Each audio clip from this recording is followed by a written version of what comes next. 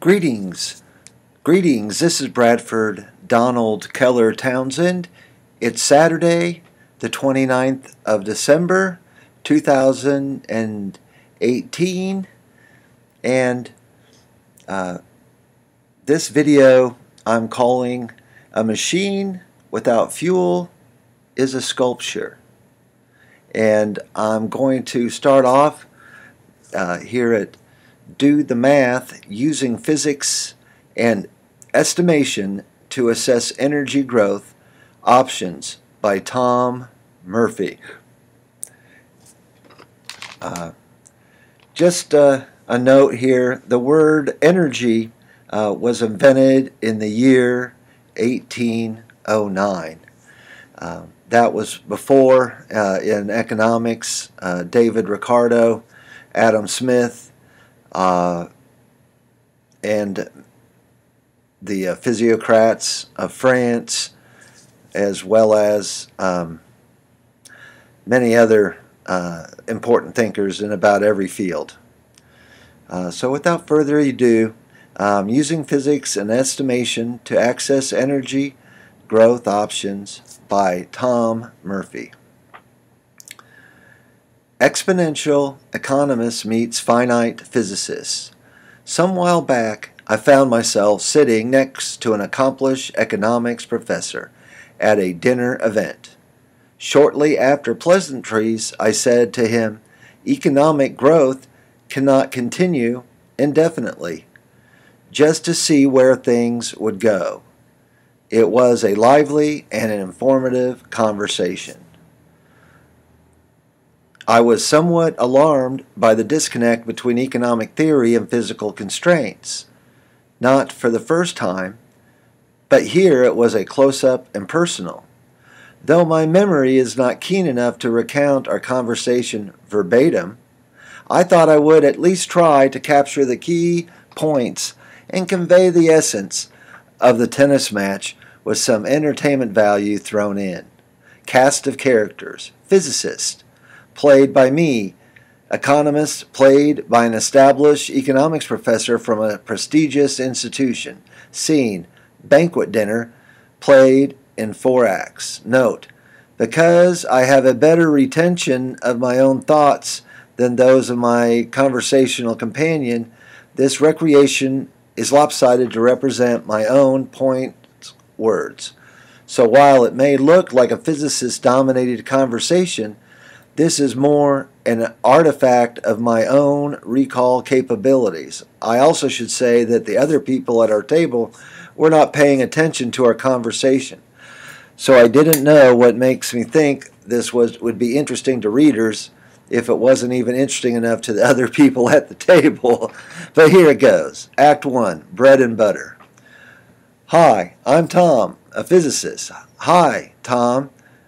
I am an economist. Hey, that's great. I've been thinking a bit about growth and want to run an idea by you. I claim that economic growth cannot continue indefinitely. Economist chokes on his bread. Did I hear you right? Did you say growth cannot continue forever? Physicist, that's right. I think physical limits assert themselves. Economist, well, sure, Nothing truly lasts forever. The sun, for instance, will not burn forever. On the billions of years timescale, things do come to an end. Physicists granted, but I'm talking about more immediate timescale here on Earth. Earth's physical resources, particularly energy, are limited and may prohibit continued growth within centuries or possibly much shorter, depending on choices we make. There are thermodynamic issues as well. Economists. I don't think energy will ever be limiting factor to economic growth. Sure, conventional fossil fuels are finite, but we can substitute non-conventional resources like tar sands, oil shale, shale gas, etc. By the time that runs out, we'll likely have built up a renewable infrastructure of wind, solar, and geothermal energy, plus next generation nuclear fission and potentially nuclear fusion, and there are likely energy technologies we can't not yet fathom in the farther future. Physicist, sure. Those things could happen, and I hope they do at some non trivial scale. But let's look at the physical implications of energy scale expanding into the future. So, what's a typical rate of annual energy growth over the last few centuries, economists? I guess a few percent, less than 5%, but at least 2%, I should think. Okay, here's a chart. I'll blow it up a little bit if I can. No. yep, oh, there it goes. United States total energy is on the x-axis at the top. I'll use my uh, mouse, my little Apple mouse, and put my little hand. That's called the x-axis there. And this is the y-axis here. And then the x-axis again. And, and on the x-axis at the bottom of the uh, square or rectangle, I think it's probably a rectangle, uh, which means the sides are not equal. Uh, these two sides are equal and these are equal, but they're not the same. They could, it's hard to say. 1670, 1700, 1750, 1800, so on and so forth. And then here's 2000, and if I take the little hand and go straight up, I hit here, and it hasn't been a perfect um, linear. See, there's increases there, and then it, this dot is lower than that dot. See, it's several dots in a row uh, with decreased um, energy production rate. Well, or, and then you, you, can see it's it's it's a wavy line, and then um, this is usually called uh, a regression analysis or curve fitting. There's different terms for it, where you draw a red line. Like you use uh, a software program to load in all the data and it averages it out. And then starting if you say going around here whatever year that is taking the hand down more or less. About 1970s which is 1972 uh, in particular is when per capita uh, global uh, joules which is a basic energy unit that is a newton uh, uh, force, and then you have distance. So, like uh, you move uh, one kilo weight up one meter against the field of gravity. Um, that kind of gets the idea of what it's an exact definition of a joule, but, you, but it has um, a force resisting a force and, and moving a distance. That's what it, the, and, and a joule um, is kind of a if you think of a Russian doll, it's one of the smaller ones at the beginning, as you uh, uh or, or, as you go down. Uh, uh, one of the more base uh, units of energy is the joule, um, and then you get into more complicated ones, uh, and then ones for work. But so around 1972, um, per capita joules used per person um, began to level off. That's not in this, but I'm just Okay. Total U.S. energy consumption in all forms. This would include burning wood, which was when my pilgrim ancestors came from the Netherlands. Um, burning uh, wood was their major source of energy. And then they uh, did have some horses and uh, oxen, which are like a cow that can pull carts and things. That was their, they had what we called traction animals uh, in the uh, science lingo or uh, firewood mostly to heat their homes. And then they could make charcoal for the smithies.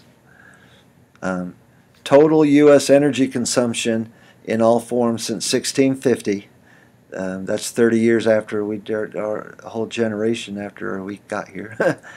the vertical scale is logarithmic, uh, so that an exponential curve resulting from a constant growth rate appears as a straight line. The red line corresponds to the annual growth rate of 2.9%. So if you take wood, uh, water wheels, like the first uh, mills for flour, uh, the first uh, people who came over here from the Netherlands and England. Um, one of the first things they built was uh, windmills and water mills uh, to mill their flour.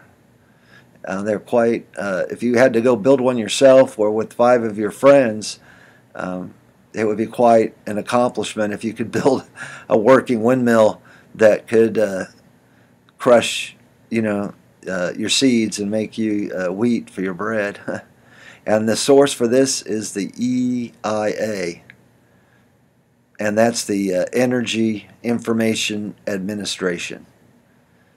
And I think they're in the Department of Energy, but it's its own kind of standalone uh, institution, and they are very good uh, statisticians and scientists there. Um, physicist, right. If you plot the U.S. energy consumption in all forms from 1650 until now, you see a phenomenally faithful exponential at about 3% a year over the whole span. Wow, that's that. There's a rule called 72, and if you take um, 72 and divide it by your interest rate, um, that's approximately what it takes for a doubling. So you're you know you're not uh, taking too long to double at uh, three uh, percent. Let's see if you do it in your head, you'd have uh, three times 20 will give you 60, and then 22. Let's see, that would be a six, and then uh, a six again. That'd be 66, and then a four. You you get a 12. Carry that up there. That gets you up there uh, 24, so just doing my math in my head, approximately every 24 years. Um, and when you think of things in geological, longer term time, like in uh, centuries and millennia, um, doubling, uh, that means if you use 10, uh, say, barrels of oil just as a unit of energy, and then uh, you get three doubles, you double that again, and that would give you 20 barrels then you double that again, that give you 40 barrels, but you're still not through the century yet. Okay, so then you double that again at 24 years. What's um, so was that 80 barrels now? And then you still have uh, more time left. So let's say you get a half a doubling left. Uh, well, 24 actually goes in four times. So as you see, if you only start off with 10 barrels, if you're doubling every 24 years, the amount of barrels of energy you're going to use would go from 10 to 24, I mean to 20, 20 to 40, 40 to 80, and then you still have one more. So when you, you actually would have a wee bit left over, wow. So you got 160 plus barrels at 3% growth if you're growing your oil barrels.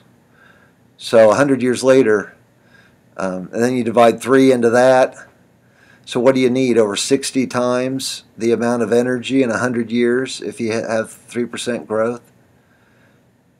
You need over 180 barrels um, to keep society going at what they're used to at that time, at the new time of growth. So, so how long do you think we might be able to continue the trend? economists. Well, let's see. A 3% growth means a doubling time is something like 23 years. I said 24, doing the math in my head. So each century might see something like a 15 to 20, every century will have a 15 to 20 time increase. I see where you're going, a few more centuries like that would perhaps be absurd. But don't forget that population was increasing during centuries past. The periods in which you base your growth rate, population will stop growing before more centuries roll by. True enough, so we would largely agree that energy growth will not continue indefinitely. But two points before we continue. First, I'll just mention that energy growth has far outstripped population growth, so that per capita energy use has surged dramatically over time. Our energy lives today are far richer than those of our great great grandparents a century ago, economist nods. So even if population stabilizes, we are accustomed to per capita energy growth. Total energy would have to continue growing to maintain such a trend. Second, thermodynamic limits impose a cap to energy growth lest we cook ourselves. I'm not talking about global warming, CO2 buildup, etc. I'm talking about radiating the spent energy into space.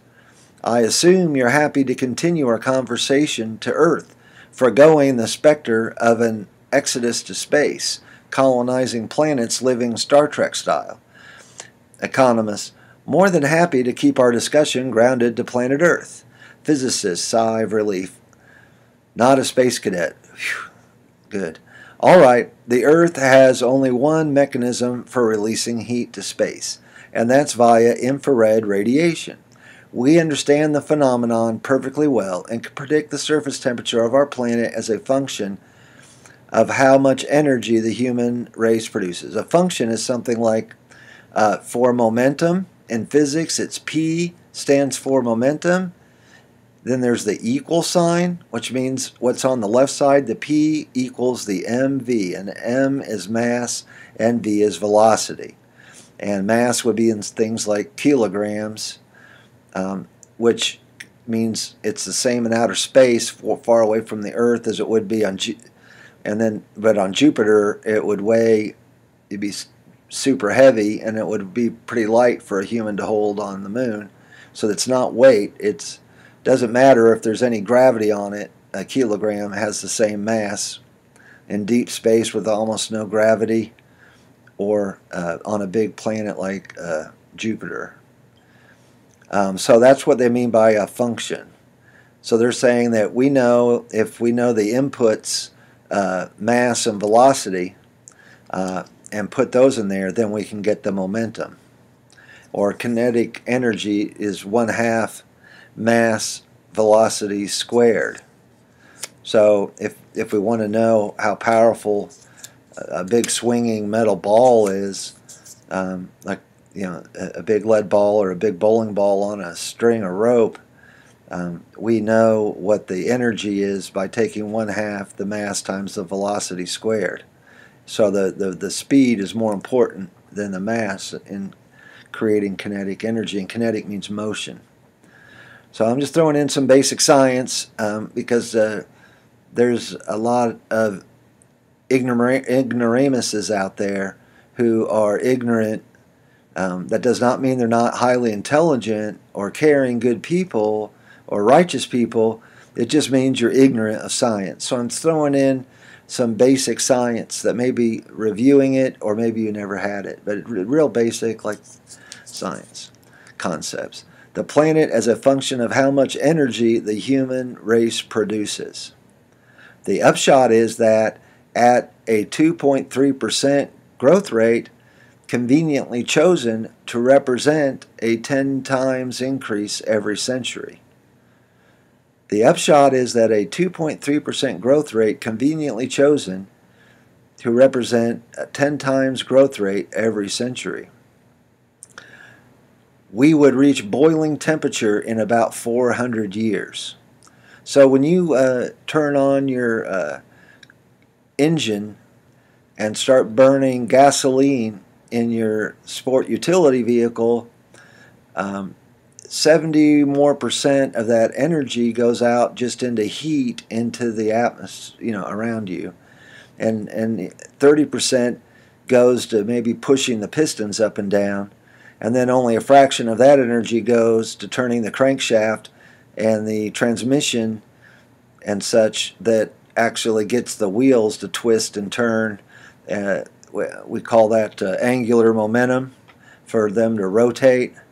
And uh, then there's uh, friction between your vehicle and the road, but if there's rain or ice or it's a hot day or a cold day, makes a difference on what your friction is.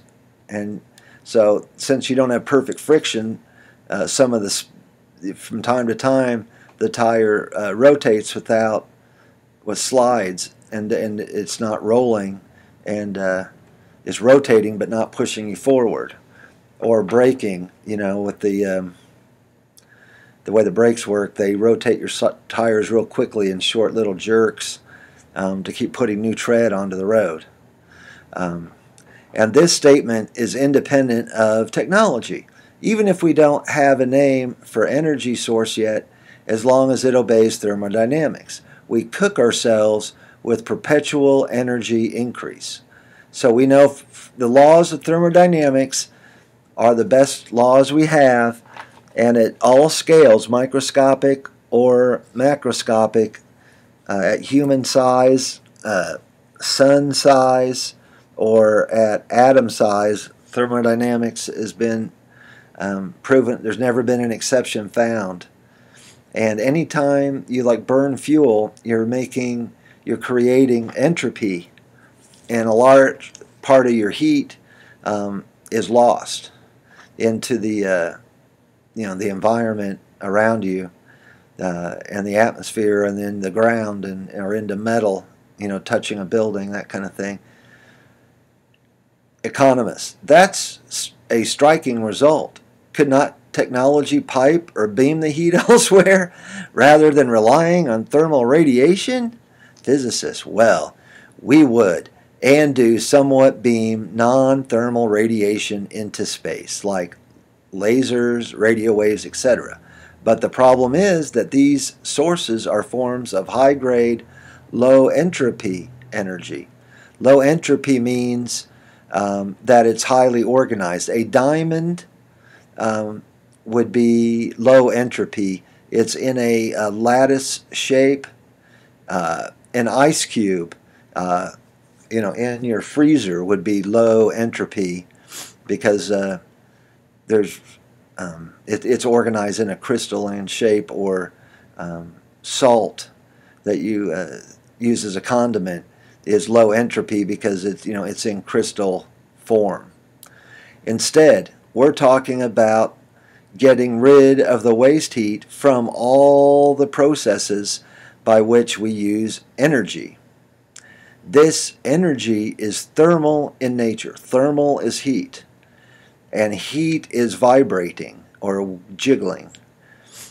Um, and we might be able to scoop up some of this to do some useful work, but at very low thermodynamic efficiency if you want to use high grade energy in the first place, having high entropy waste heat is pretty inescapable. So you you may you go from something being organized, let's say in octane, I think oct is eight, so you would have eight carbon atoms, and it's um, a hydrocarbon, which means it has hydrogens in it. So you have eight uh, carbons, and then you, you have I don't know how many uh, hydrogens. Uh, let's say 18 in octane. I'm just throwing out a number, probably wrong, but but so that's what you have. And when those bonds are broken, um, you have a exothermic reaction that gives off heat. And uh, when you burn the fuel, the expansion of the gases in the cylinder pushes your pistons up and down, and through a very complex uh, system you, with the transmission in there and crankshaft and all that, it, it translates into rotating tires and uh, turning uh, a dynamo that uh, powers your stereo and your headlights and your heater or air conditioner. Okay, but I still think our path can easily accommodate at least a steady energy profile. We'll use it more efficiently and for new pursuits that continue to support growth. Before we tackle that, we are too close to an understanding point for me to leave it unspoken. At the 2.3% growth rate, we would be using energy at a rate corresponding to the total solar input striking Earth in a little over 400 years. We would consume something comparable to the entire sun in 1400 years from now. By 2500 years, we would use energy at the rate of the entire Milky Way galaxy 100 billion plus stars. I think you can see the absurdity of continued energy growth. 2,500 years is not that long from a historical standpoint. Uh, I'm Jewish, and even if you take a secular view of the Torah, uh, the five books of Moses, they were at least as old as Ezra the prophet uh, which is over 2,500 years ago. I mean, they they're pretty sure that whoever, if it was written, you can say it was written by humans. Um, they were probably Jewish scribes from Babylon uh, Empire, you know, which is now more than 2,500 years ago. Um, we know, so it's not that long. I mean, it's a long time, but you know, we have historical records going back farther than that, or at least documents. I think I know what we're not going to be doing 2,500 years hence. Economists. That's really remarkable. I appreciate the detour. You said about 1,400 years to reach parity with solar output. Right. And you can see that the thermodynamic point in this scenario as well. If we tried to generate energy at a rate consummate with that of the sun in 1400 years and did this on Earth, physics demands that the surface of the Earth must be hotter and much harder than the surface of the sun. Just that's a law of thermodynamics. I'm not going to ex explain it all, um, but um, if you're interested, um, just Google thermodynamics. Go to physics.org and um, Britannica. Um, and uh, usually, when it comes to just natural science and math, uh, Wikipedia and um, there's wiki textbooks even on uh, that are free on thermodynamics. I think if you put in wiki textbook, and uh, you can or buy. I own a book called Thermodynamics for Dummies, and those dummies books are real good uh, way place to start. Um, don't let the dummy name. Um, that's just kind of a a shtick that they use to uh, sell. Uh, just like 100 watt from the light bulb results in much hotter surface than the same 100 watt you and I generate via metabolism spread out across a much larger surface area. We do have a basal metabolism and need at least 1,500 thousand 1500,000 calories.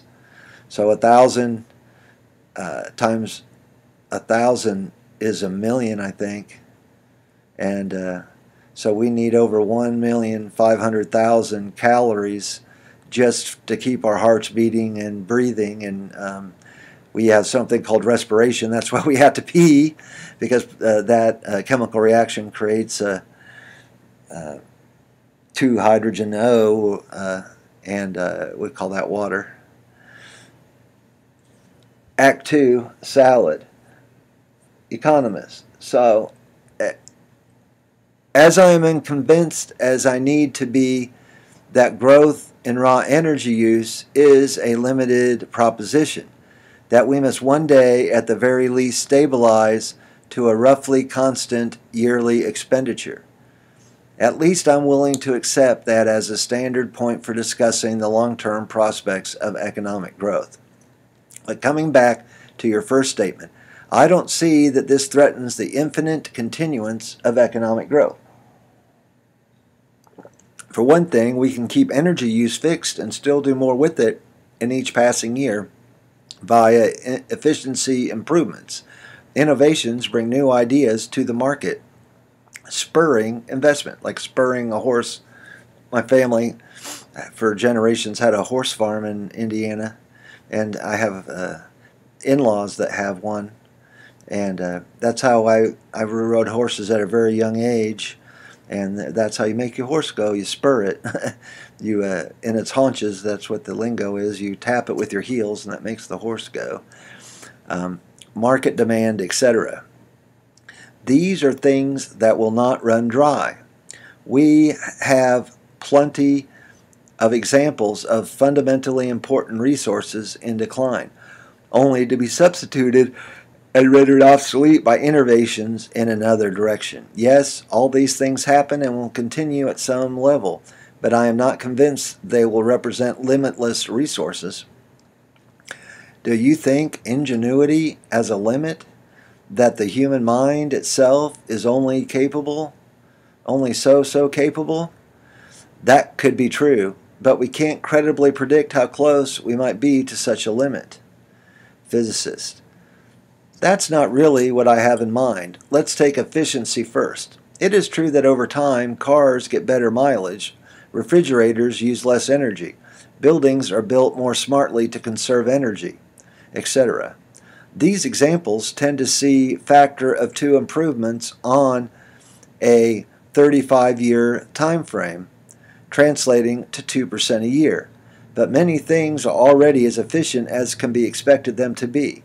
Electric motors are a good example. At 90% efficiency, it, it will always take 4184 4184 joules to heat one liter of water 1 degree Celsius.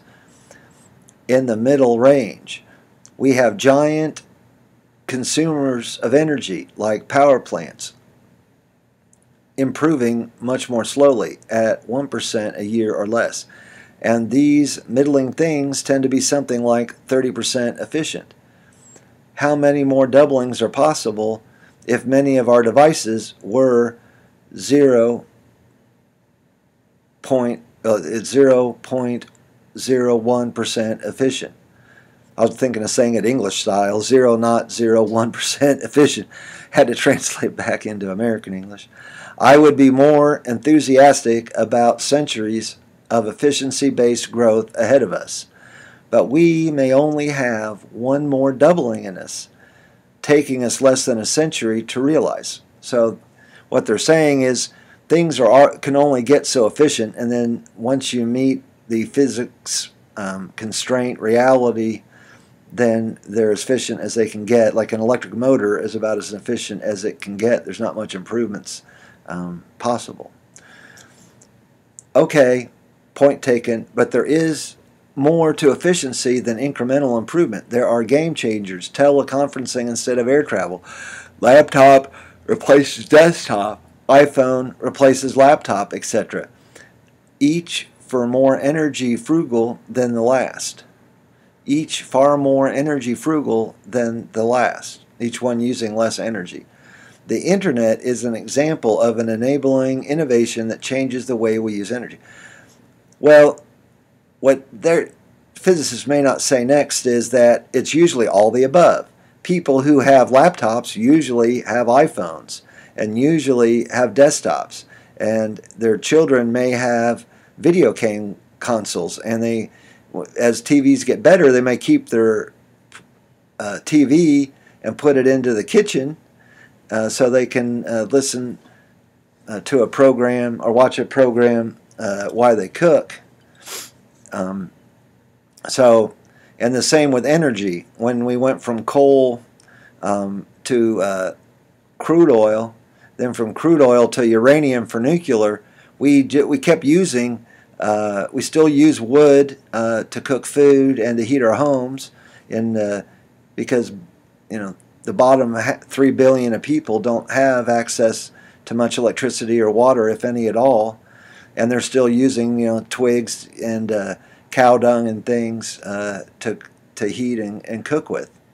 So it's usually when we find a new source of energy, we just add, or material, um, we just or invent uh, a new product, it doesn't necessarily replace another product, it's just an additional product.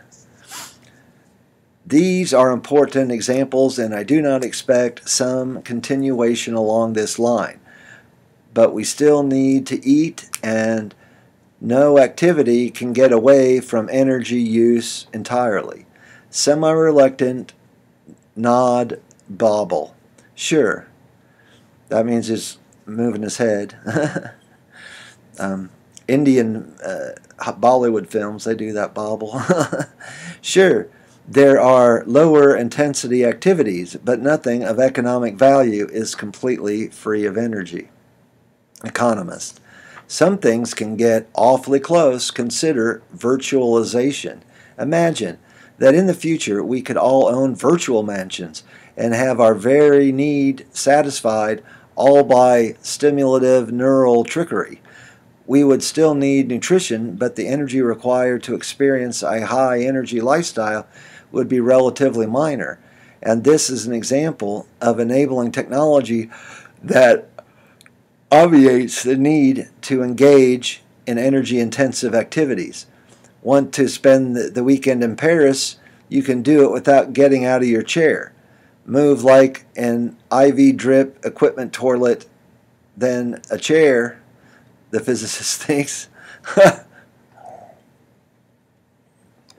Sitting on a toilet with an, I, an, an IV and a virtual reality headset, and then you've got some plugs in your nose that miss the smell of Paris. Um, say you're in a working class neighborhood and you can the smells of people cooking and smoking marijuana or whatever.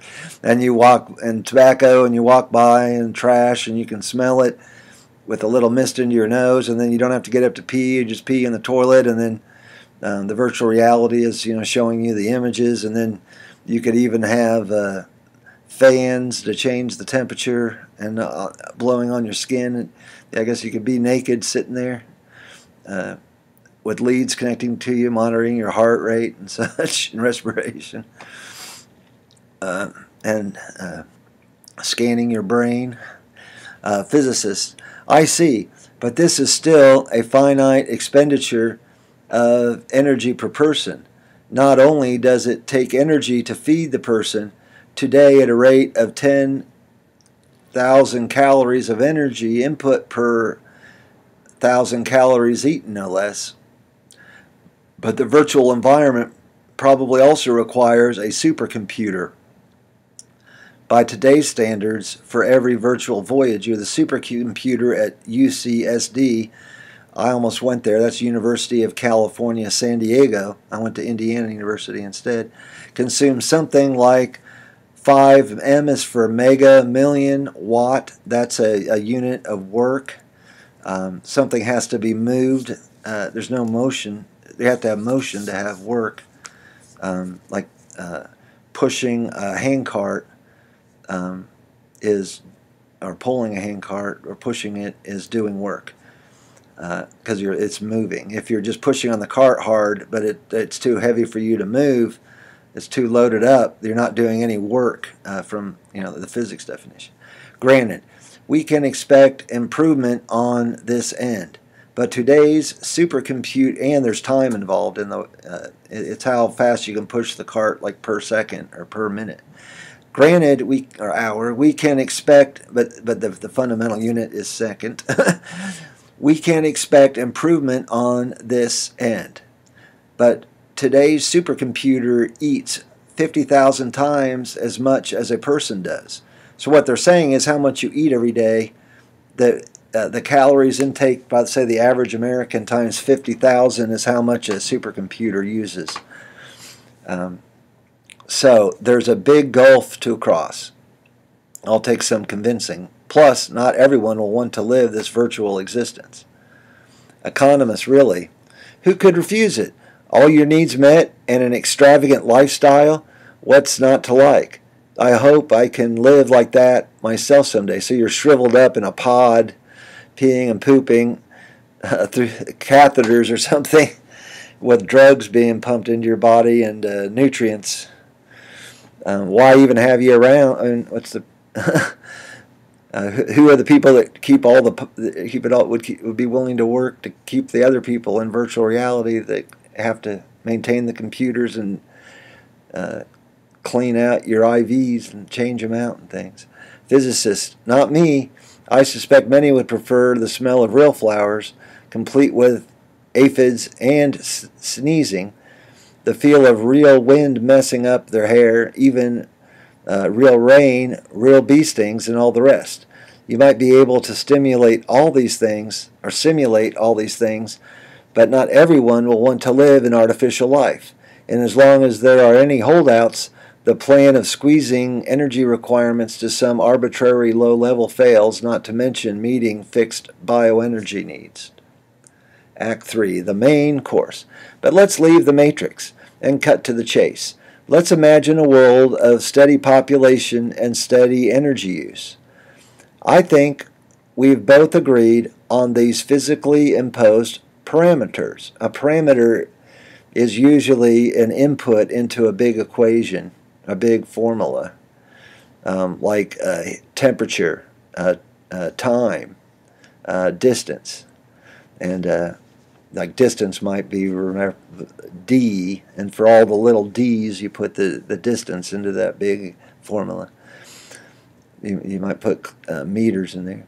If the flow of energy is fixed, but we posit continued economic growth, then GDP continues to grow while energy remains at a fixed scale. This means that energy, a physically constrained resource, mind must become arbitrarily cheap as GDP continues to grow and leave energy in the dust. Yes, I think energy plays a diminishing role in the economy and becomes too cheap to worry about. Wow, do you really believe that? A physically limited resources? Read scarcity. This is uh, fundamental to every economic activity becomes arbitrarily cheap, turns attention to food on the plate somewhat stunned. I have a book called Scarcity, and it's by Clugston, and it goes through all the natural resources, um, and it's called Humanity's Final Chapter. And uh, he talks about when uh, estimates are uh, for our resources to be depleted. And if you just kind of do a really um, over reductionist simplification, by the year 2070, more than four out of five of our natural resources like copper, lithium, uh, coal, and so forth, you know, and some of them like aluminum aren't supposed to run out but four out of five are by the year 2070. So my niece, you know, who's three, and women in our family usually live to be like 90 years old. um, if you go, let's say, 80 years into the future, um, she'll uh, likely live past the year uh, 2100. And, and by then, a whole generation would have been born and become mature adults um, since four out of five of our uh, inputs to mechanical civilization have been completely exhausted. Uh, coal, uh, crude oil, um, and natural gas should all be uh, exhausted by 2070 with only a small remnant used by like the military or warlords or whatever's around at that time. Okay, so let's be clear that we're talking about the same thing. Energy today is roughly 10% of GDP. Let's say we cap the physical amount available each year at some level but allow GDP to keep growing. We need to ignore inflation as a nuisance in this case. If my 10 units of energy this year cost $10,000 out of my $100,000 a year income, the next year that same amount of energy costs 11,000, and I make 110,000. I want to ignore such an effect as meaningless inflation and the GDP growth. Agreed. Um, there's more here. I'm going to stop uh, now. I think I've uh, made my point. Um, thank you very much. Uh, au revoir.